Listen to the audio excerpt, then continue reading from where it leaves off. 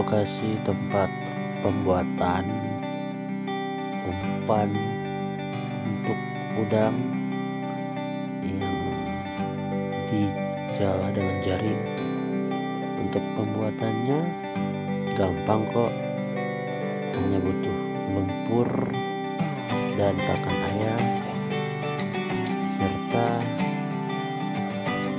terasi terasinya itu harus diaduk dulu dengan air supaya dia mencair makanya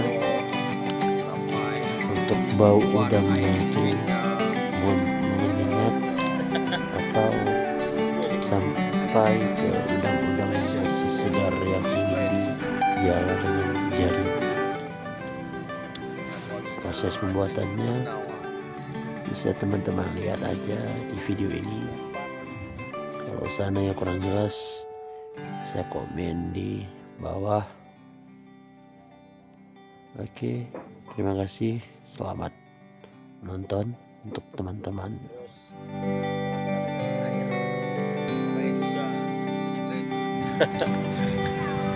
Resun langsung diaduk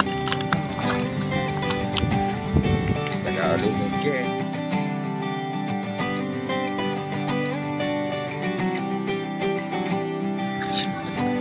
diaduk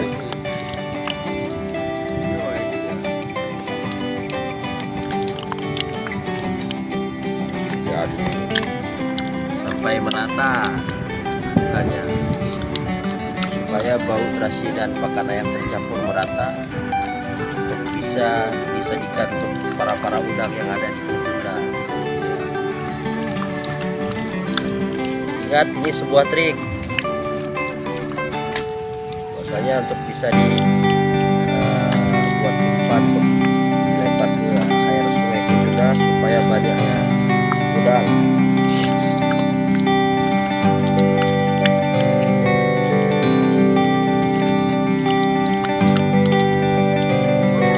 Pancing-pancing jangan kasih untuk orang. Jangan kasih untuk orang pancing. Kalau rusak bukan orang yang buat, ayah orang yang buat.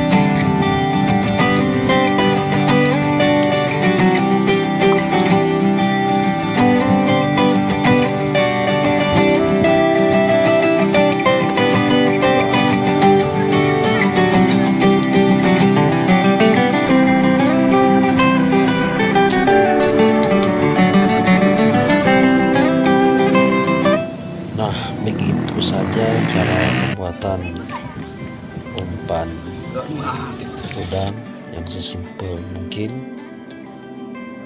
Dan pada akhirnya dia harus dijemur sekitar 2 jam atau lebih